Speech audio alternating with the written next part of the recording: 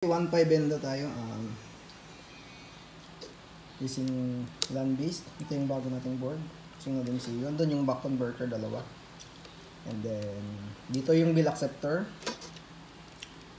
Yung pang bill acceptor. And then, LCD naman dito. So, yung orders natin, walang LCD. ah, walang bill acceptor. Simple-simple lang.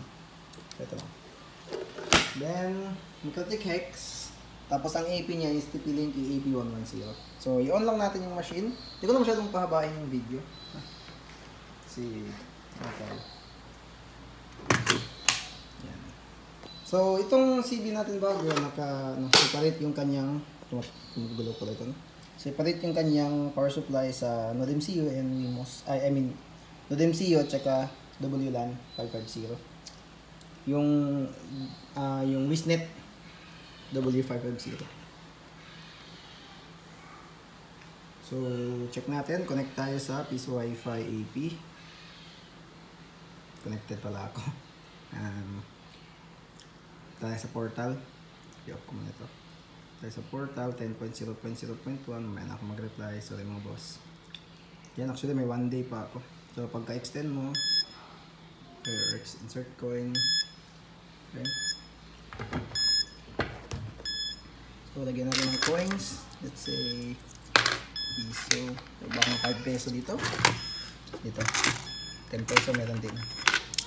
Baka tayo ng mga iba't ibang samples. Para madami.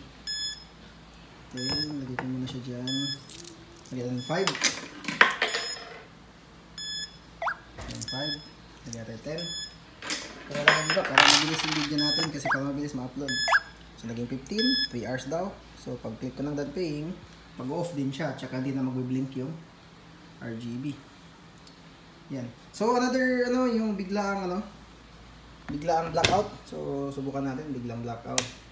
1, 2, 3, tapos ano.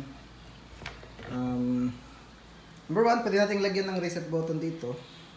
Pero so far sa ano, MCU type, hindi siya nagkakaroon ng ganong effect. Yung natutulog na node, so, kaya piso. Yan. So, mag-work pa rin siya. Then, mabilis din yung, meron lang pinapa-download yan para resibo. Kumbaga. Okay. So, yun. I guess that's all. Um, kasama na yung mga LAN cable. Siyempre, boss, nandun yung LAN cable niya. Kaya medyo madumi yung kwarto ko ngayon. Medyo maraming tinatapos. Ayan, thank you for watching.